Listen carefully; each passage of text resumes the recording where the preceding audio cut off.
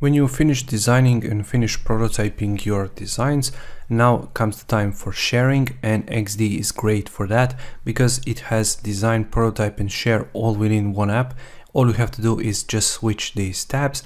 Now just imagine that we have finished uh, this prototyping, we included all of the different effects that we want and we want to present this design to our client. How can we do that?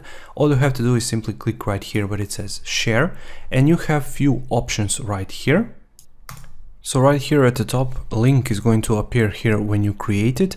So you can change the title of this project. So let's call it, for example, feed, just so that we can keep it consistent with the name of this artboard. You can view settings. So where, why you want to share this with your client you want to get feedback on your design or prototype, you're going to use this one.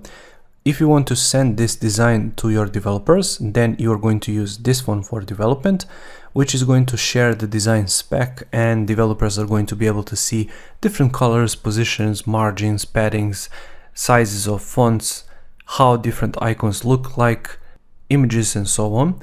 We have presentation, so optimize for presenting your design. If you want to use this into an, an environment, for example, an office environment, if you're presenting this to your clients in person.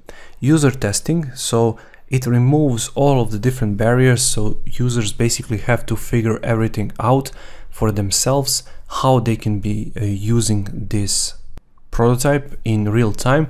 So if you're collecting user data and you're doing user testing, that's what you should be focusing on right here. And finally, we have the custom. So you can customize whatever appears on the screen when somebody else is viewing this prototype or when you're sharing this prototype as part of the presentation, for example. So you can optimize do they have the navigation controls? Do they have the comments section if you want to receive the comments or not? And things like that just so that you can customize it as much as possible and in order for it to fit your requirements. So for our case, let's just use the design review and you can require password if you want the client to open this using a password. You can click require password and then you can type your password right here. Finally, you can click create link and this is going to load to 100% and depending of how big or small your project is, how many different artboards you have, and finally how many images you have because images are big contributor. That's how long it's going to take. So what you can do right here is simply click right here, copy link, and I'm going to simply paste this link using my Google Chrome browser. And here is how that looks like. So I can simply click right here and it will show me that effect. I can click right here to go back and that's basically if you imagine what you're going to send to your client. Here you can go back to the home screen and this is our home screen this is our second screen so if I jump right here you can see that it goes back to the home screen and if you imagine that we have like 50 different artboards right here it will show number 50 right here and clients can scroll between each artboard right here using those commands Finally, if somebody wants to leave you a feedback, they can do that. So by creating a free Adobe account and then simply placing this pin to here, for example, and maybe I want to say make this image bigger. Like so. And I can simply click submit. You can use this add character if you want to mention a user which is a great addition so for example, if you're working as part of the team, maybe you want to mention some uh, designer that designed this part of the design, you can simply mention them right here. They will get a notification, it will ping them and then they can jump back and see for themselves which is the feedback for them. But if I switch right here between the screens, you cannot see the feedback anymore because the feedback is on another screen and you can see that it's on the feed one this is the uh, feed one screen but the feed screen is the screen which contains this feedback.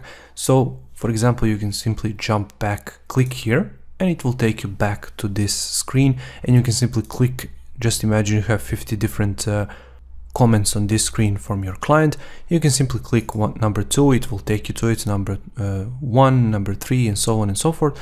And every single comment is going to be marked with this number When you're done with the changes, you can simply click resolve and it will remove that comment and you can simply move on with your design process and you can then simply share another one with your client when you finished it and then they can provide you with a fresh new feedback and then you can move on until you both reach the agreement that the design process has finished. So that's how easy it is to share using Adobe XD if you want to make any additional changes so let's jump to our design.